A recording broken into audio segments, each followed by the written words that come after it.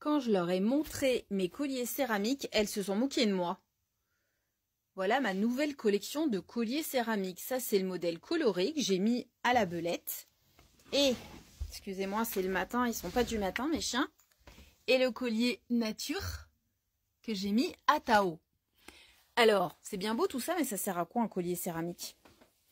Eh ben, ça a été découvert par un scientifique japonais.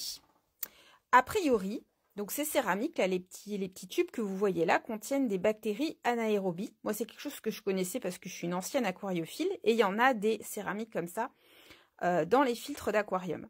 Bref, je, euh, m'égare. Euh, donc, ces bactéries, en fait, qui sont contenues dans la céramique, modifieraient en fait la vibration émise par le chien. c'est sur le principe de la biorésonance, pour ceux qui connaissent. La chose qui est vraiment prouvée scientifiquement, c'est que euh, la tique repère son hôte grâce aux vibrations qu'elle émet.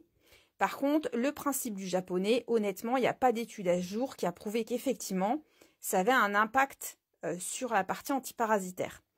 Les retours sont très différents. Il y a des gens qui sont vraiment très contents euh, du collier et d'autres qui disent que ça marche pas du tout. J'ai envie de dire que c'est joli, donc dans le doute, au pire, ça marche pas, ça fera toujours un, joli collier autour du chien. Donc moi, elles se sont moquées de moi parce qu'elles m'ont demandé si c'était mes filles qui avaient fait euh, les colliers. Mes filles, elles ont 15 et 19 ans, donc elles font plus de colliers de perles.